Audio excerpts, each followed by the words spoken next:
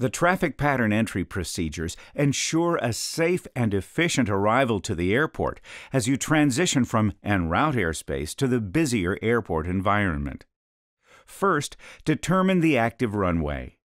If the airport is non towered and the active runway cannot be determined prior to arrival, fly over the airport at an altitude at least 500 feet above pattern altitude.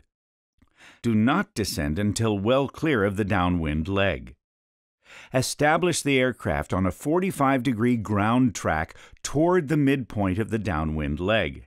If approaching from the opposite side of the traffic pattern, enter on a 45 degree ground track to the upwind leg or enter on the crosswind leg.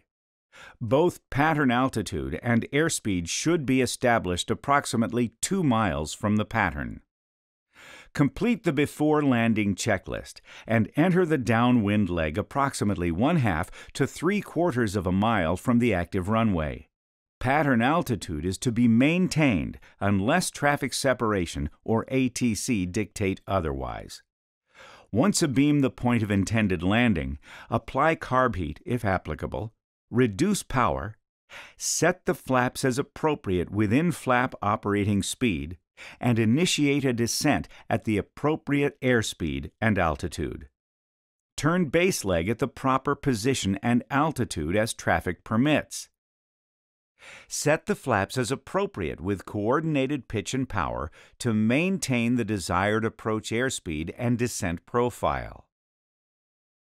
Visually clear the area before turning on to final approach.